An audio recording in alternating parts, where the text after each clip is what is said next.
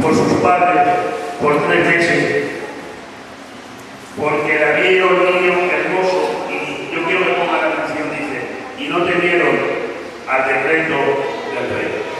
Pero quiero leer otro versículo que dice también en Génesis 21, dice, y Agar le faltó el agua del odre y echó al muchacho debajo de un arbusto, y se fue y se sentó enfrente a distancia a un tío de decía, no me dé cuando el muchacho muera, y cuando ella se sentó enfrente, el muchacho alzó su voz y lloró. No, no, pero bueno, pasa nada.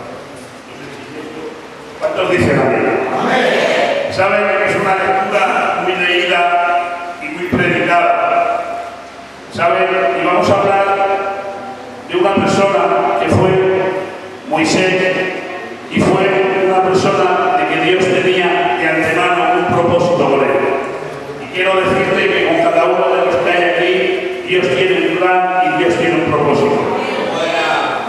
¿Saben? Me llama la atención una cosa, hermanos, si ustedes van al capítulo 2 de Éxodo, vemos ahí, hermanos, la historia de Moisés.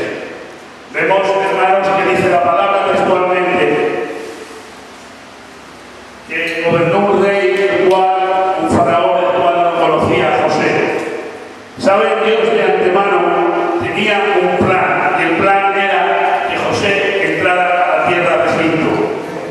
¿Saben? Desde Abraham empezó Abraham, Isaac y Jacob, pero José entró ahí a Egipto. Sabemos toda la historia, hermano, viene muy rápido, de que fue vendido, luego fue, hermanos, a la casa de Potifar, la casa, la casa de Potifar, le metieron en la cárcel y de la cárcel, hermanos, estuvo en el trono.